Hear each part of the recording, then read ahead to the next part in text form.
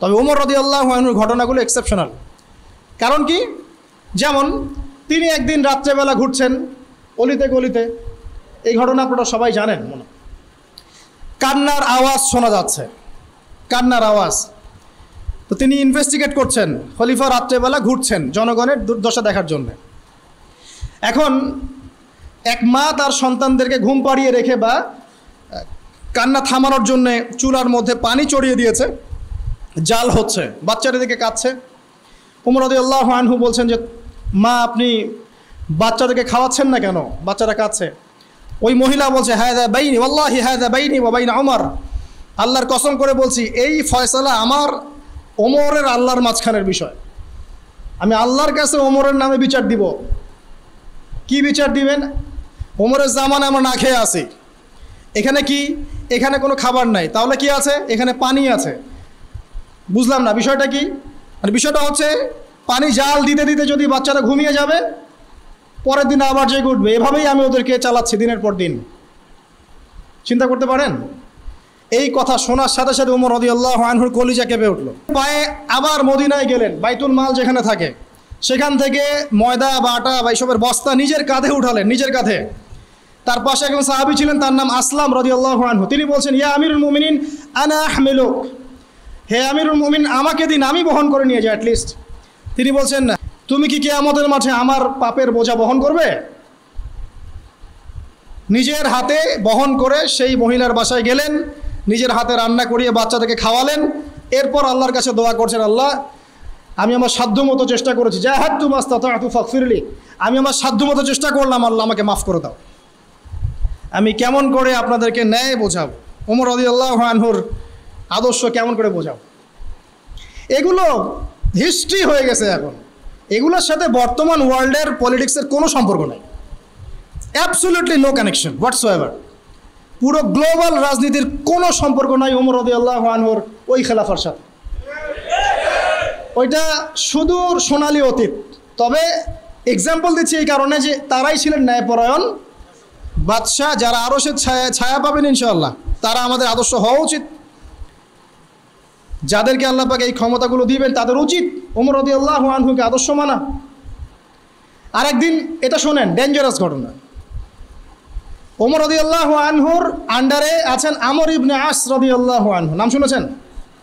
আমর ইবনে আস রদি আল্লাহ আনহুকে ওমর রদি আল্লাহ আনহু মিশরের গভর্নর করেছেন। কিসের? মিশরের।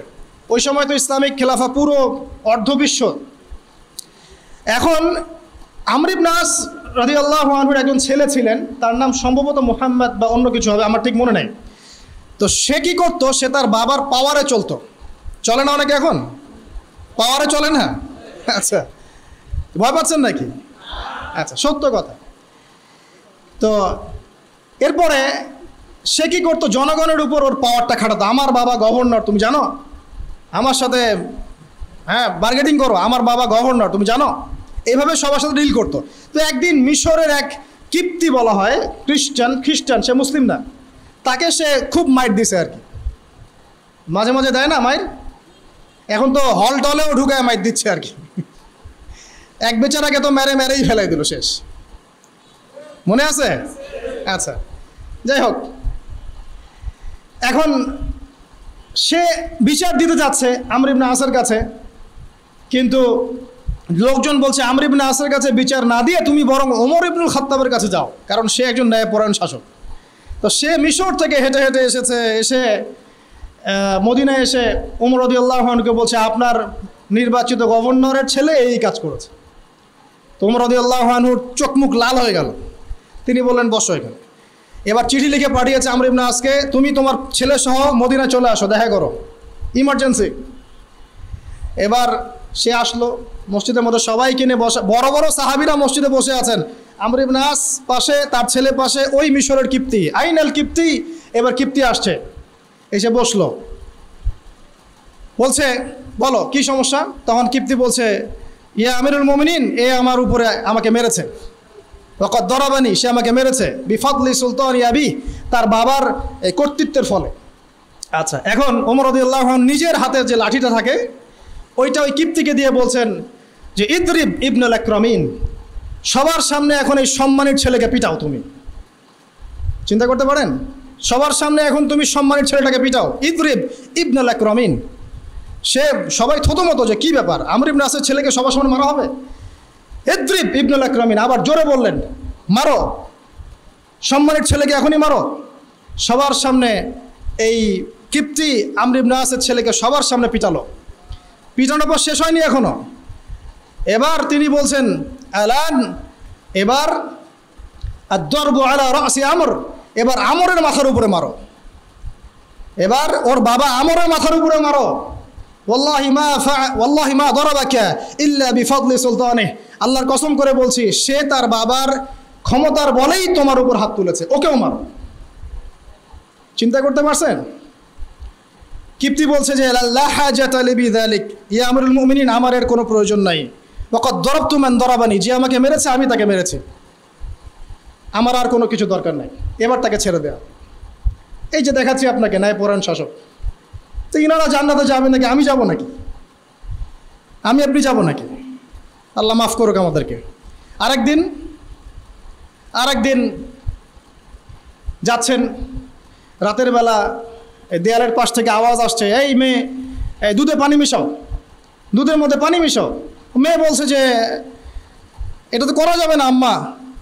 কারণ আমিরুল মুমিনিন এটা কঠিনভাবে আইন করেছে, করা যাবে না। তখন মা বলছে, এখানে কি আমিরুল মুমিনিন আছে নাকি? ওমর কি এখানে আছে? তখন সেই মেয়ে বলছে, ওমর নাই, তাতে কি হয়েছে? তার রক্ত আছে। এবার উমর রদিউল্লাহ আনহু তার ওই পাশের সাহাবিকে বলছেন, আসলাম রদিউল্লাহ আনহু। এই বাড়িটাকে মার্ক করে রাখো, কালকে সকালে আসতে হবে। পরের দিন সকালবেলা তিনি তার ছেলেকে নিয়ে হাজির। ওই মহিলাকে বলছেন যে, গতকাল রাতে তোমাদের পানির আর দুধের ঘটনা আমি শুনেছি। তোমার মেয়েটাকে ডাকো। মেয়েকে ডাকা হলো, জিজ্ঞাসা করা হলো, এই মেয়ের কি বিয়ে হয়েছে? তার মা বলছে, না। যে, আমি আমিরুল মুমিনিন, আমার ছেলের বিয়ের প্রস্তাব নিয়ে এসেছি তোমার এই মেয়ের সাথে। সুফান হিস্ট্রির অনেক কিতাবে আছে যে এই মেয়ে, পরবর্তীতে এই মেয়ের গর্ভ থেকে ওমর বিন আব্দুল আজিজের যে লেগেসি এটা বের হয়েছিল। তিনি আরেকজন ন্যায়পরায়ণ শাসক ছিলেন। তো এই হচ্ছে অবস্থা তাকুয়া দেখে। এরকম অনেক ঘটনা আছে। একটা আছে, ইয়েমেন থেকে একবার অনেক সুগন্ধি এসেছে উমর রদি আল্লাহ আনহুর যুগে। হাদিয়া হাদিয়া। তো উমর রদি আল্লাহ আনহুর স্ত্রী আতিকা, তিনি বলছেন যে, ইয়া আমিরুল মমিনিন আমাকে দিন, আমি এটাকে সুন্দর করে ডিস্ট্রিবিউট করে দিচ্ছি। সবার মাঝে সুন্দর করে ভাগ বন্টন করে দিচ্ছি। উমর রদি আল্লাহ আনহু বলছেন, আতিকা ছাড়া আর কে আছো যে এটাকে ভাগ করতে পারবে? তখন তিনি বলছেন, আমিরুল মমিন আমার, আমি ভাগ করলে কি সমস্যা? তখন তিনি বলছেন যে, তুমি ভাগ করতে গিয়ে কিছু আতর নিজের হাতে লেগে থাকতে পারে, সেটা তুমি ব্যবহার করে ফেলতে পারো। এই যে সুগন্ধিটা তুমি নিবা, এটা আমার জন্য হারাম। কারণ এটা জনগণের প্রপার্টি কথা কি চিন্তা করতে পারছেন? বলতে থাকলে অনেক বলা যাবে আসলে, কারণ আমাদের টাইমও খুব বেশি না। ওমর রদি আল্লাহ আনহুর জীবনী নিয়ে ইনশাআল্লাহ আপনাদের সামনে একটা স্বতন্ত্র খুদ্া আসবে ইনশাআল্লাহ তাআলা। আল্লাহ পাক তৌফিক দান করুন না আমিন। তো একটা কথা বলতে যাচ্ছিলাম যে, ইমামুন আদেল যারা থাকবেন, তাদেরকে আল্লাহ রবুল্লা আলমিন কেয়ামতের মাঠে নূরের মিম্বর দিবেন। এবং আরও সে নিচেও ছায়া দিবেন।